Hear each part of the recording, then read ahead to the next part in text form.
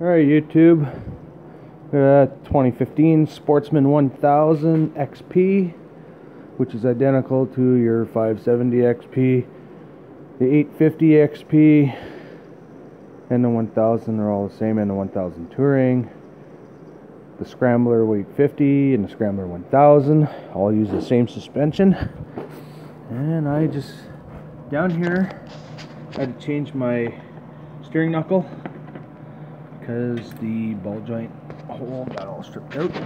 So anyway, started wiggling my A-arms back and forth and I noticed play in the pivot points.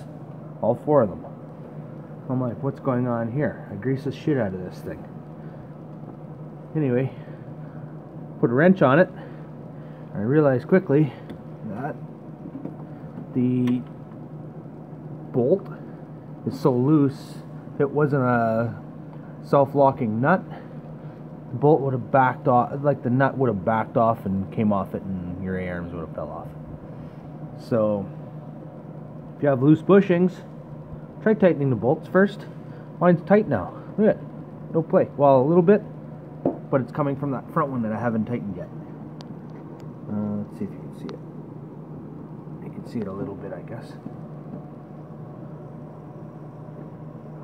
Trying to make it move, but anyway, I just uh, wiggled on the brake caliper mount there and I can get a little bit of torque out of it. But now the bottom are tight. They were sloppy, sloppy.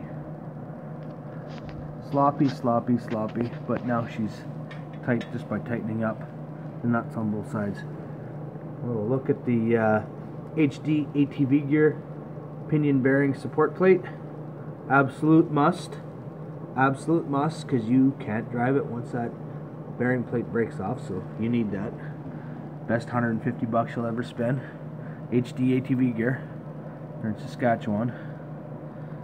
Uh, guy's name is Sean Sullivan excellent man to deal with.